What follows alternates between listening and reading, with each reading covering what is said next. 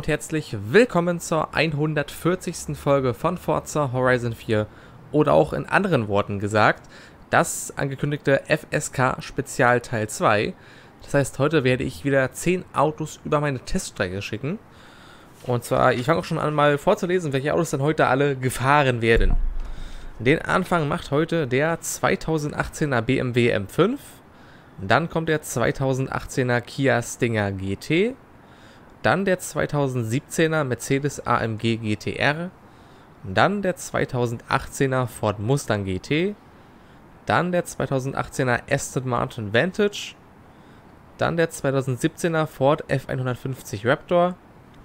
Dann der 2018er Honda Civic Type R, Generation, also Generation FK8 wäre das.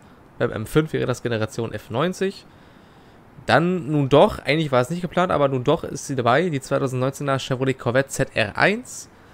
Dann noch der 2018er Porsche Cayenne Turbo. Und als zehntes und letztes Auto in dieser Liste der 2013er Subaru BRZ. So, das waren jetzt 10 Autos, aber jetzt könntet ihr euch vielleicht fragen, Fabian, du hast diese 10 Autos vorgelesen, aber im Hintergrund gerade steht ein Porsche 918 Spider, der war in dieser Liste aber gar nicht dabei. Da habt ihr absolut recht. Wir schauen Füchschen. Der war auch nicht dabei. Den werde ich heute aber trotzdem fahren. Denn dieser Wagen ist, kam auch im Let's Play vor, wie alle anderen auch, und ist auch ein für mich sehr besonderes Auto. Vor allem auch ein Mitglied einer besonderen Liga von Autos. Und zwar die auch gerne mal als die heilige Dreifaltigkeit bezeichnet wird. Damit gemeint äh, sind drei Hybrid-Hypercars aus den Jahren 2013 und 2014. Was einmal hier wäre der 2014er Porsche 918 Spider. Dazu von McLaren der 2013er McLaren P1. Und aus Italien der 2013er Ferrari LaFerrari. Das sind drei Hybrid-Hypercars. Also alle haben einen Verbrennungsmotor und ein bis zwei Elektromotoren, glaube ich. Hybridmäßig. Teilweise Hängertrieb, teilweise Allrad. Alle so mit grob ähnlicher Leistung. Und die werden gerne mal, wenn es darum geht, bei Hypercars werden diese drei Autos gerne mal verglichen. Ich bin zwar den McLaren P1 und den Ferrari oder Ferrari noch nicht im Let's Play gefahren, macht aber nichts. Ich werde sie heute trotzdem fahren. Und zwar alle drei jetzt direkt hintereinander. Und ich würde mal sagen, den Anfang macht einfach mal der hier, der 2014er Porsche 918 Spider.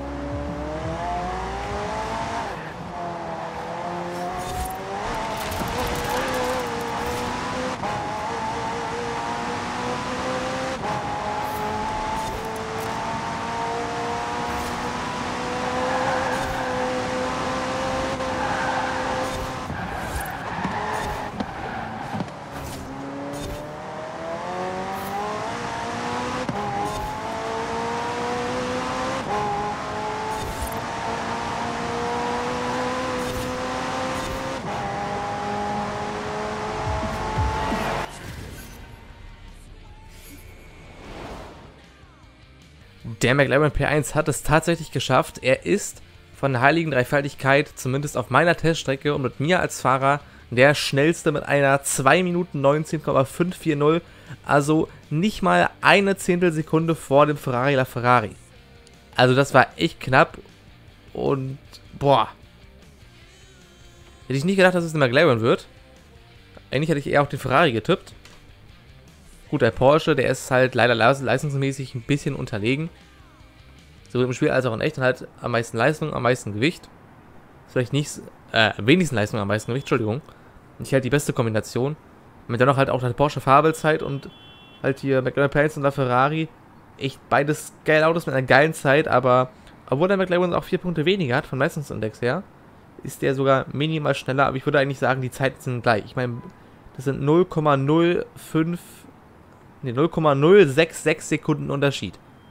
Würde eigentlich sagen, die beiden Autos sind gleich, aber der McLaren ist minimal schneller. Deswegen Glückwunsch, McLaren.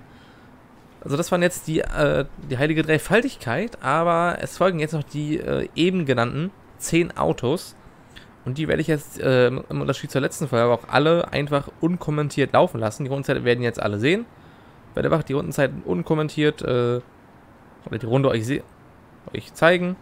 Dann seht ihr natürlich auch die Zeit am Ende und dann direkt äh, das nächste Auto. Diese 10 Autos werde ich durchlaufen lassen, dann ist die Folge auch vorbei. Die Rundenzeiten gibt es natürlich wie immer in der Videobeschreibung, müsste der erste Link sein. Da kommt ihr auf meine Tabelle, die heißt Rundenzeiten FSK Teststrecke. Und dort sind alle Rundenzeiten bis zur heutigen Folge eingetragen. Dort steht halt äh, Platz, Baujahr, Marke, Modell, Rundenzeit, Leistungsindex und auch in welcher Folge ich diese Rundenzeit gefahren bin. Dass ihr vielleicht auch seht, äh, seit wann ich diesen, dieses Auto habe oder ne, dass, dass, dass, ihr das auch zeitlich so ein bisschen einordnen könnt, wann ich welches Auto gefahren bin, wie das zusammenhängt, wer wann vielleicht der schnellste auf der, Runde, äh, der Strecke war. Deswegen waren echt ein paar coole Runden dabei, auch ein paar Überraschungen. Dann bedanke ich mich bei euch schon mal fürs Zuschauen und wünsche euch jetzt noch viel Spaß mit diesen 10 folgenden Autos. Echt geile Autos dabei, muss ich sagen. Und dann, ja, bis zum nächsten Mal und tschüss.